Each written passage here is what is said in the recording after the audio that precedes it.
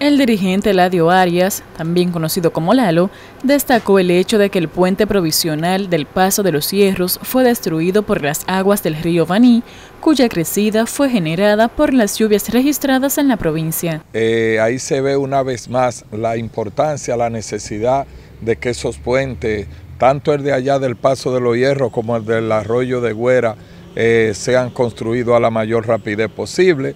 Ya todos sabemos que ya todo eso está en proceso. Esperemos que ya para la próxima eh, temporada ciclónica ya esos puentes estén ready. En otro orden, al ser cuestionado sobre el fallecimiento en Estados Unidos del joven Juan Gabriel Arias, Lalo Arias, quien era tío de hizo, informó que primero se efectuarán actos fúnebres en Lauren, Massachusetts, y luego se trasladarán sus restos a República Dominicana. Tenemos en proyecto traerlo el próximo martes para acá, donde será puesto en velatorio en la casa materna de nosotros, eh, la casa de mi mamá, Matilde Suárez, cariñosamente Cufina, y también será luego trasladado donde su madre, que vive a poca distancia de allá.